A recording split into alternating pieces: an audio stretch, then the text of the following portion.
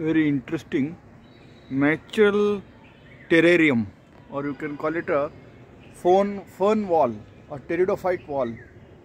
So this is just in a residential area. This is, this is just an ordinary residential area but you can see how the growth has happened. You have just bricks here, you have moss, dried old moss and then there are a lot of ferns, there are a lot of small species of mosses and some things I can identify but the natural occurrence of this without you know any uh, artificial setup is incredible I think.